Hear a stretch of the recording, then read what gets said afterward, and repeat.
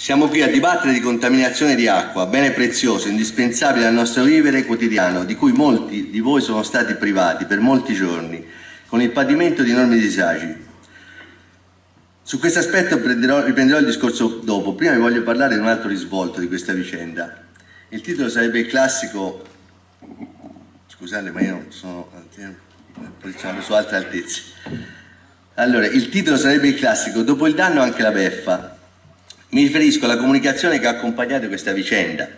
Tale comunicazione è stata parziale, spesso tardiva e in qualche, in qualche caso passibile anche di censura.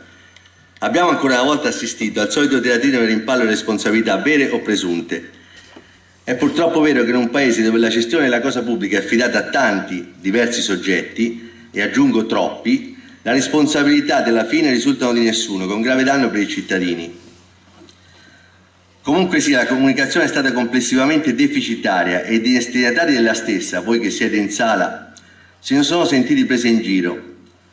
Ho avuto modo in questi giorni di parlare con alcuni di voi e questa situazione era palpabile. Ho seguito, oltre che parlando con voi, anche la situazione sui social network e proprio di un episodio che è accaduto su Facebook vi voglio parlare. Eh, meno male che ritorna al sindaco perché poi la, la, la domanda è posta a lui. Alle lamentele di una cittadina, questa è stata la risposta al profilo Facebook del comune di Pietrasanta. Ve la leggo testualmente. Signora Barbara, siete lei e la sua clac che fate finta di non capire quello che è successo e volete accusare l'amministrazione per responsabilità che non ha. Si vergogni lei e valuti bene quello che dice, perché anche questo comporta delle responsabilità. L'amministrazione comunale ha sempre preso decisioni in base ad analisi fornite da chi ha la responsabilità di farle e le decisioni per quanto riguarda la gestione degli acquedotti, la distribuzione e i controlli spettano all'ente gestore e, alle unità sanitarie locali. Il sindaco interviene con ordinanza a tutela della salute pubblica sulla base, di, sulla base appunto delle segnalazioni dell'azienda sanitaria e lo ha fatto immediatamente Nessuno può accusare qualcuno di responsabilità che non ha, nella migliore delle ipotesi è strumentalizzazione, nella peggiore diffamazione. Qui finisce l'invettiva e che oltre a contenere il rimpallo di responsabilità di cui parlavo poc'anzi... Cosa diceva prima? Facciamolo parlare, dai, facciamolo parlare. Facciamo silenzio. Facciamo parlare Qui finisce l'invettiva, comunque qualunque cosa vi rispondo, allora non conteneva niente di offensivo e comunque, ora finisco il pensiero e poi vi rispondo, qualunque cosa contenesse, un conto è quello che dice un libro cittadino, poi le querele si fanno e non si annunciano perché annunciano è minatorio. Vi va bene come risposta?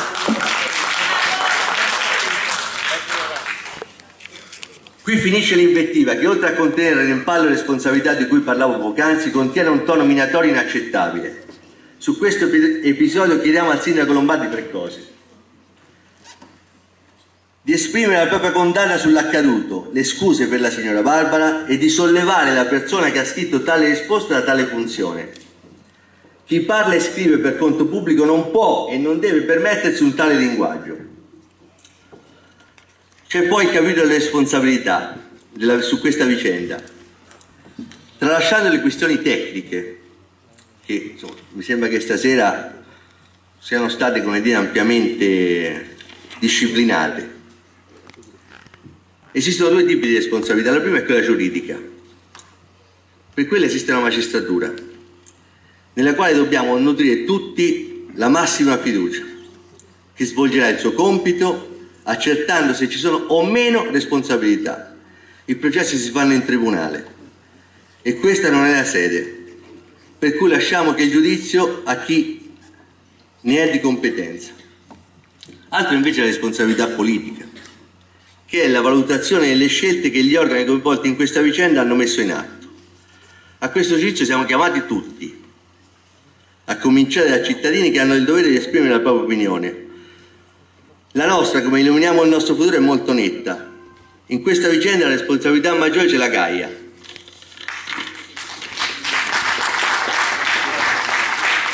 quale ente gestore del servizio aveva il dovere di approfondire la questione, alla quale, come è noto, era a conoscenza da tempo. Forse non avete fatto caso, ma la relazione del professore parla già del 2013 coinvolgendo in questo percorso comune SL, rendendo pubbliche cause e, propor e proporre soluzioni che la, che, prima che la bomba esplodesse. Questo non è stato fatto. Chiediamo pertanto che i comuni soci di disporre un'immediata valutazione dei comportamenti della direzione aziendale e del management per accertare al di là delle norme se l'operato su questa vicenda sia stato improntato da un sufficiente e corretto criterio prudenziale atto a garantire la salvaguardia della salute dei cittadini. Per la questione delle bollette, anche lì sarò molto netto, noi pensiamo che la sospensione non, non vada bene, che ci voglia l'annullamento delle bollette, perché nessuno se qualcuno vi fa un lavoro che è sbagliato, io penso che nessuno si pensi di poterlo pagare. In questo caso l'acqua che arrivava nelle case non era, non era un'acqua che si deve pagare, secondo me. Sono loro che devono pagare qualcosa. Anche se la responsabilità di comune e azienda sanitaria appaiono inferiori a quelle di Gaia, chiediamo a entrambe di attivarsi per organizzare dei presidi congiunti atti a prevenire situazioni come queste, di realizzare delle sinergie di collaborazione che nel XXI secolo dovrebbero essere prassi normale tra enti pubblici. E qui non sono d'accordo, l'ultima parte la dedico una appello missiva al Presidente Rossi, spero che l'assessore Bramerini mi, mi faccia da, da tramite, la ringrazio fin d'ora. A differenza di quello che ha detto l'amico Stefano, a noi il comportamento di Rossi non ci è piaciuto di sabato. La sua, la sua visita a Val di Castello non ci è piaciuta nella forma e nel contenuto, lasciato intendere di essere poco informato su una vicenda segnata da un'ordinanza sindacale di oltre 40 giorni. Si è scocciato di trovarsi di fronte a 100 persone, 100 cittadini peraltro, ha offeso verbalmente il sindaco, davanti ai suoi cittadini la sensibilità di quegli stessi cittadini che pensavano fosse venuta a portare soluzione al problema del taglio. Attendiamo con pazienza le risposte promesse, ce ne ricorderemo quando verrà lei a chiederci qualcos'altro. Ultimissima cosa, ma quasi una curiosità. Ho visto un video delle Iene in un intervento del Presidente Rossi nel Consiglio, mi pare, provinciale di Massa Carrara peraltro il giorno o due giorni dopo, il, quando era caduto il, il muro, chi l'ha messo lì comunque l'ha messo male, eh, ve lo dico. Ok. Ehm, il contesto si riferiva appunto al crollo del muro del, sul fiume Carreone e cito testualmente quello che ha detto il Presidente. Ve lo dico brutalmente rivolgendosi alla sala, o si è complici, o si è incompetenti, o si è ladri. E finisce la citazione. Per cui chiedo al Presidente Rossi che tra le risposte che doveva darci su questa vicenda ci dica anche quale di queste tre è la realtà dei fatti di Santa. Vi ringrazio. Invito sul, sul palco Marcello. Beh, sarebbe da dire molte cose, ma credo che debba prevalere il senso dell'equilibrio e della costruzione più che della distruzione. La campagna elettorale si farà in altri luoghi e non su queste vicende. E questa è la mia posizione, la linea che tengo eh, fermamente finché ricopro questo ruolo.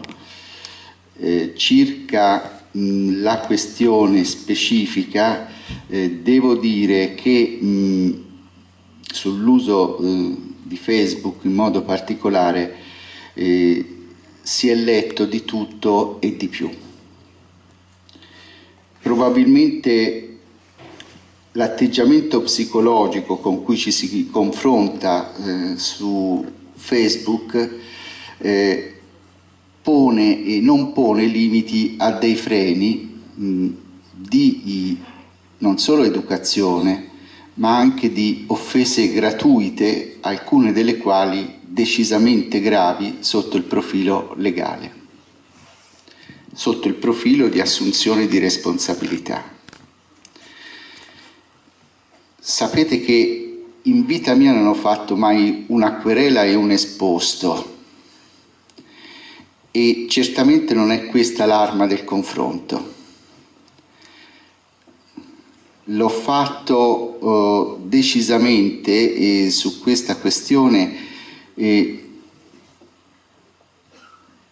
con il senso di dare un segnale preciso a quello che deve essere l'equilibrio e l'attenzione di quando su questioni così delicate ci si pone all'attenzione pubblica come il Facebook rappresenta.